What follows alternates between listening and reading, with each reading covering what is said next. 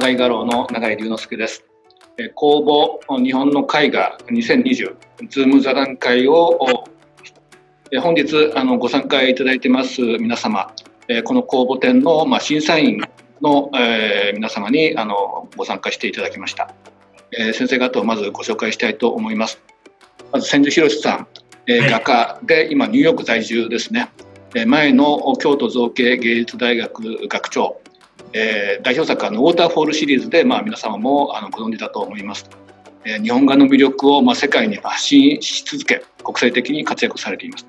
あのベネチア・ビエンナーレ日本人として初めて名誉賞も受賞されました。イサム・ノグチ賞など国内外の、まあ、数々のまあ賞も受賞されまして、えーまあ、世界的にもあの活躍されている先生です。千さんはあの第1回の公募展2012年からあの参加をしていただいています。千さんよろしくお願いいたします。はい、よろしくお願いいたします。はい、これから、えー、山下裕二さん、えー、美術史家であり美術評論家、えー、室町水墨から、えー、現代アートまで、えー、日本美術応援団団長としてですね、日本美術の魅力をまあ発信し続けていらっしゃいます。著書も多数出されていまして、あのテレビも日曜美術館にもね数多く出演をされています。えー、明治美術、えー、明治医学院大学教授山下さんです。山下さんは今回初めてこの公募展の審査員に加わっていただきました。山下さんどうもよろしくお願いいたします。よろしくお願いします。はい、えー、それから布施秀人さん。はい。はい、よろしくお願いします。え美術批評家であり、え解剖学者ですね、え解剖学から見た美術の魅力を発信し続けていらっしゃいます。え戦死時代の洞窟壁画やレオナルド・ダ・ヴィンチ、えピカソ、藤田などの絵画論、著書もですね70数冊なんか出されていると伺っております。えテレビにも数多く出演されてご活躍です。瀬さんはもう2012年の第1回の公募展から審査員としてまあ参加をされていただいています。布施さん、どうもよろしくお願いいたします。よろしくお願いします。えー、それから、えー、諏訪敦さん、えー、画家で、えー、武蔵野美術大学教授。えー、たった1枚の絵を仕上げるのに、えー、過剰な取材量と、えー、革新的な、えー、描写技術を注い込む制作スタイルはいわばプロジェクト化した絵画としてですね、えー、その制作プロセスを数多くこれまでも映像化されその得意さでも知られています、えー、著書も出されテレビにも数多く出演されています。そういう諏訪さん今回初めてこの公募展の審査員として加わっていただきました。諏訪さんどうもよろしくお願いいたします。よろしくお願いします。えー、これから皆様にあのお話をしていただきますけれどその前にこの公募展について、えー、概要をあのお話をさせていただきます。長井画廊の企画主催によりまして2012年からスタートしました、えー、時代を担う画家の育成検証を目的として、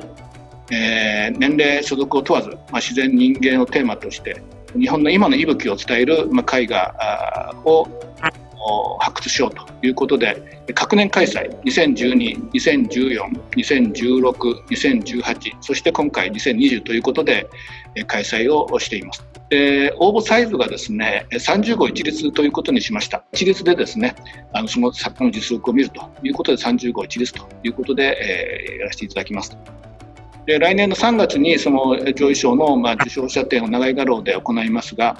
えその特典としてですね、まあ、対象の方は、えー、賞金50万円買い上げ賞と長井画廊での個展開催の権利。そして優秀賞の方2名が賞金10万円と長井画廊での個展開催の権利ということで、えー、開催をします、まあ、詳しくは改めてあの長井画廊のホームページでご覧いただければと思います、えー、それではですねあのまだコロナでですね感染が拡大している状況で、えこの美術界もいろいろなまあ大きな影響を受けています。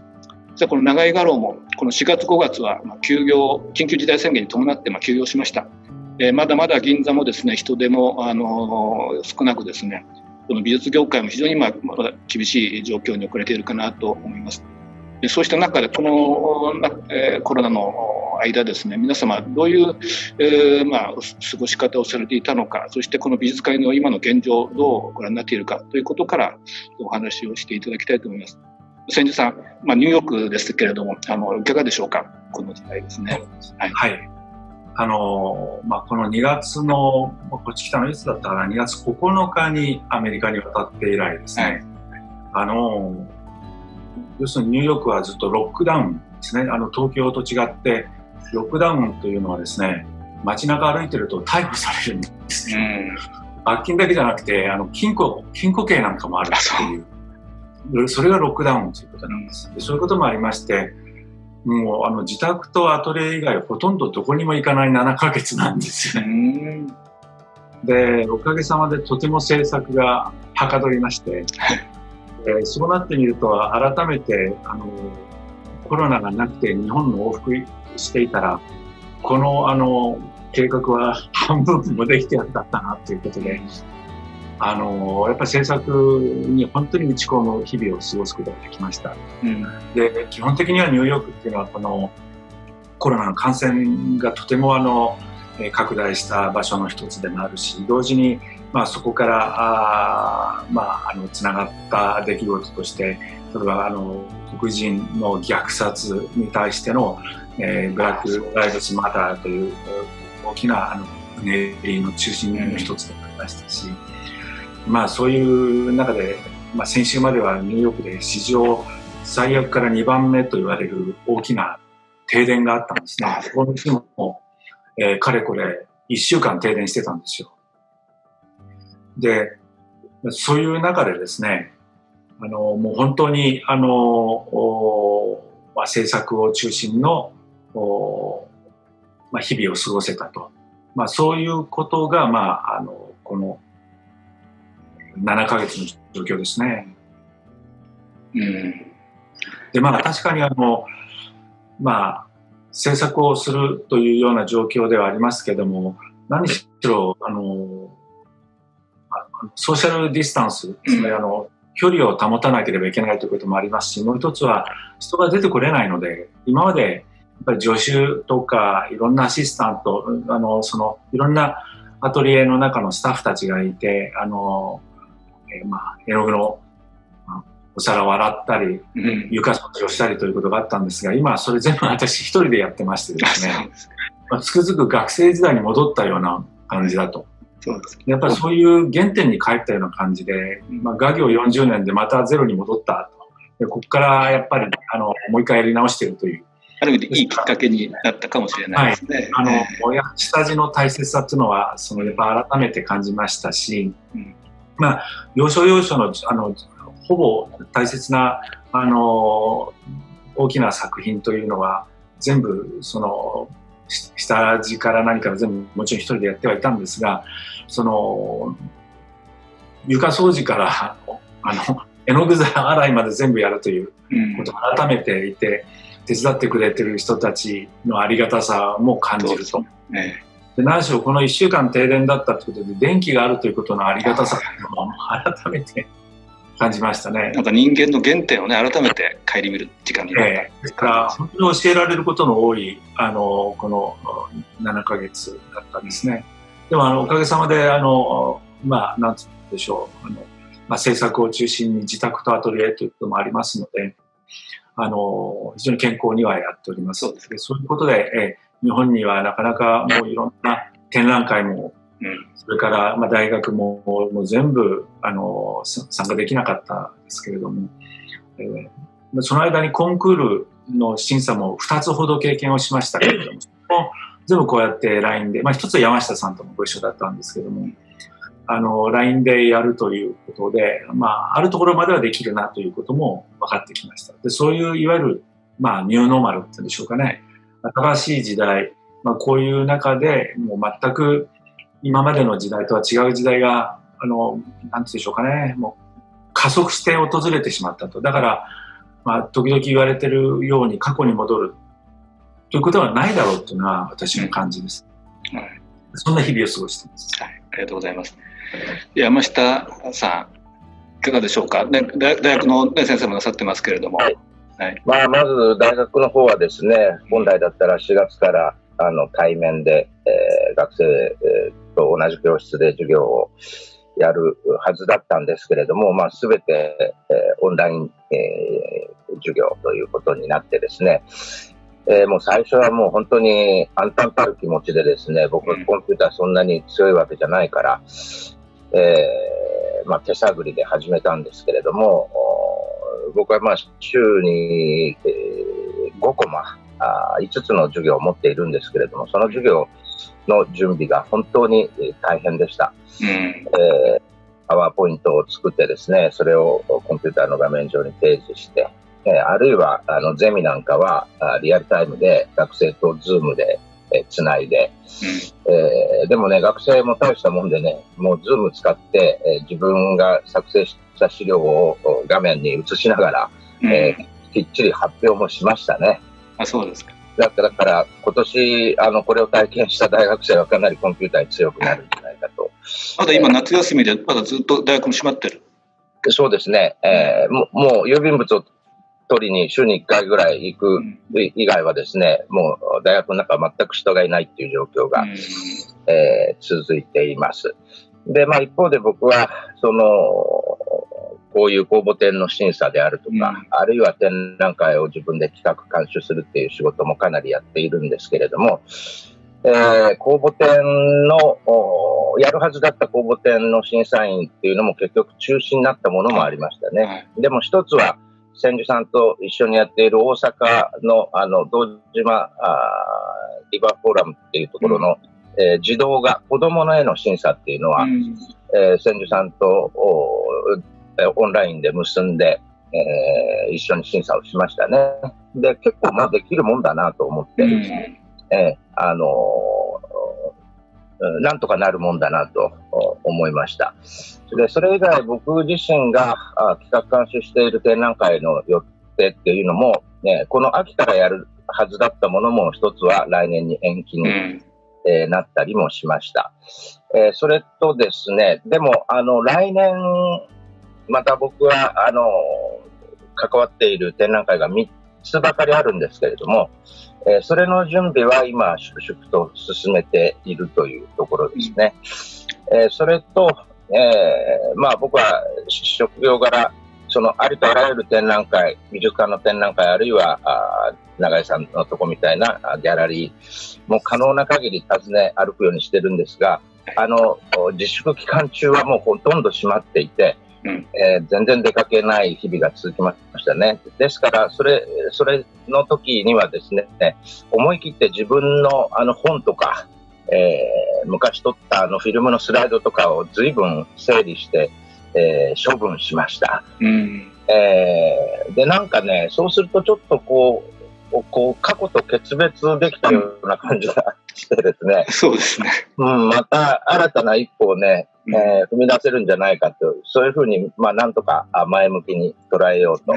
思って、はい、えー、日々を過ごしています。皆さん逆にコロナがね、いいきっかけになるかなという感じがしますね。えー、そうですね。まあ、画家の方なんかはね、はい、あの、皆さん、えー、基本的にステイホームだから、そんなには変わらないのかもしれないけれどもね。えーまあ、僕にとっては大きな転機になるなと思いました。はい、はい、ありがとうございます。はい、えー、布施さん、はい、いかがでしょうか？はい。えっとですね、まあ、僕はあの、えっと、家がですね、えっと、山の中にありまして、えっと、神奈川県と静岡県の県境のあの、えっと、山の中なんですけども、で、まあ、なので、そこに、えー、ずっと、特に4月、5月ですね、えっと、閉じこもってというか、えー、暮らしてまして、まあ、ただ、あの、周りが森なので、えっと、あんまりこう、なんていうかな、閉塞感みたいなのはなくて、えっと、まあ、帰って、ずっと家にいて、OK なんだっていうのが、まあ、帰って、心地いいっていうと、ちょっとまあ、えー、まあ大変な状況だった人にはちょっと語弊がありますけども、まあ、個人的にはそんな感じで過ごしてましたですね。で、えっと、それで、まああのまあ、基本的には分筆業っていうか、執筆いろいろやっているので、でそれがちょっと遅れて、あのえー、と春頃まで遅れていたのをですね、まあ、特に4月、5月で、えー、と本一冊書き上げてですね、で、えっと、美術機構の本なんですが、あのここういうレオナルド・ダ・ヴィンチの旅をしてという、ような本で、えっと、去年がダ・ヴィンチの没後あの500年で、えっとまあ、あのパリとかロンドンで大きな展覧会がいろいろダ・ヴィンチ展があってで何回か行ってですね、まあ、そのこととかあとまあこれまでにのダ・ヴィンチの旅みたいなのを書いてで、まあ、あの海外旅行っていうのはほとんどできない状況の中で、まあ、海外旅行の本を書いたっていうのが、まあ、なんていうか想像力の世界で、まあ、楽しく、まあ、過ごしておりましたですね。で、まあ、あと、その、まあ今、今まで皆さんのお話もありましたけれども、やあのまあ、コロナの、あの、えっ、ー、と、前向きに捉えると、その、このコロナの圧によってこうインターネットの環境っていうのが、えーとまあ、なんていうのかなあの強制的に、えーと、社会環境を整えられてたところがあってで、まあ、僕自身もそうですしあの、まあ、あと大体こういうズームの会議をこんなことでどういうふうにやろうということ自体も、えーと、多分1年前ぐらいは、まあえーと、スカイプとかでまあ若干はありましたけれども、うん、まあまあ、こういうのも普通そうですね、特に特別なことじゃないふうになったっていうのは、まあ、ある種こうこのコロナの圧によって社会が変わったのかなっていう感じは、まあ、しましたですね。でまあ、ただ、例えば、あの家族で言うと、まあ、息子2人いて、えっと、長男が、あのまあ、両方20代で、長男が現代アートやっていて、次男が、えっと、音楽やってるんですけども、次男の方は音楽なので、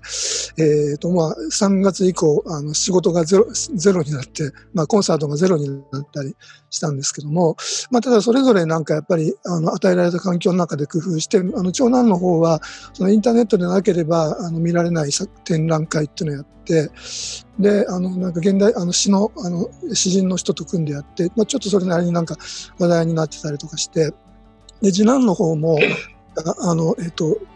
メトロあの要するにあの演奏家がステージに上がらないでメトロノーム100台を、えーと、ステージの上に置いて、まあまあ、これ現代音楽リゲティっていう人の作品なんですけどもなんかそれをこう試みてなんかソーシャルディスタンスの時代のこう新しい芸術みたいなのまあえっとまあ、僕の場合はまあ息子を見てたんですけど、まあ、いろんなこう若い人が、えーとまあ、ここあのここあの演劇なんかでもリモート演劇とかってなんかあったりとか出現したりとかしましたけれども、まあ、そういう意味で、えーとまあ、アートの状況っていうのも、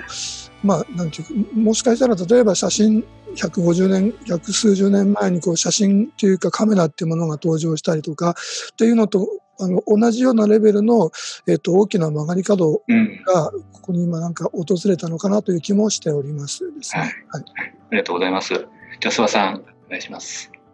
えっと僕はそのコロナで人に会うなっていう、まあ、お上からそういうふうに言われてるのは結構影響が大きくてっていうのはあの人物画が結構それで知られてきた画家なので、うん、あの公式に人に会うなって言われるのって結構 致命傷に近くて、あのまあだけど反面自分への時間をこう最大化できるっていう良さはあったんですけど、うん、それでまあ人物があ、まあ、こう見えてこう人と会ってこう話したりするっていうのがまず前提としてあったので、その制作がもう半年以上できないというん、じゃあ生物画をやろうって言ったんですね。うん、で、あのそうですね。じゃあ考えてみたら、その生物画そのものっていうのは、そのジャンル性そのもの、あの何が生物画なのかっていうのを考えてみたら、自覚的に書いたことがない。うん、その定義は何なのかっていうのがよく分かってなかったってことで、じゃあ、いい大人なんですけれども、勉強し直そうってことを考えて、で、あの、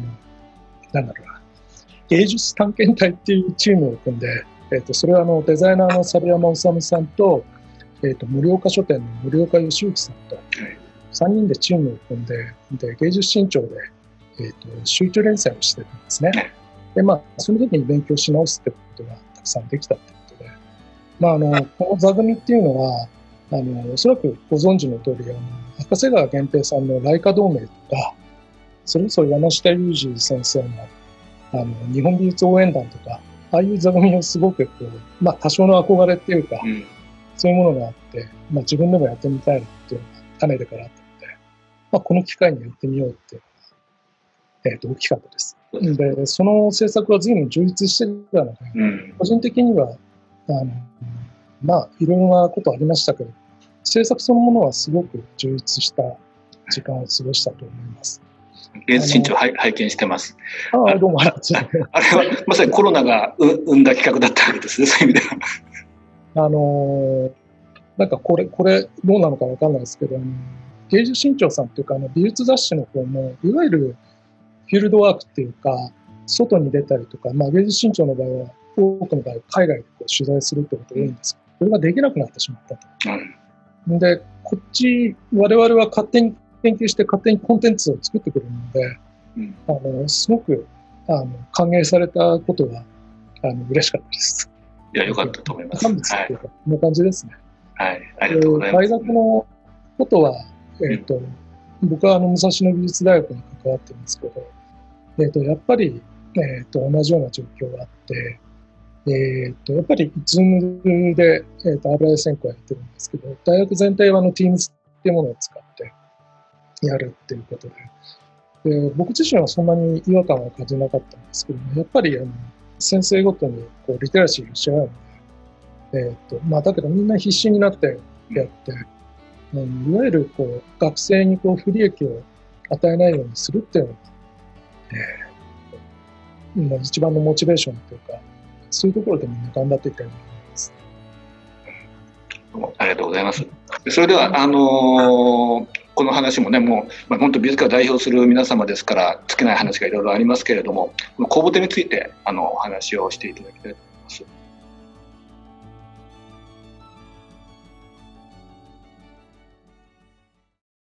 最後までご視聴いただきありがとうございました。この動画がいいと思ったら高評価ボタンとチャンネル登録をよろしくお願いします。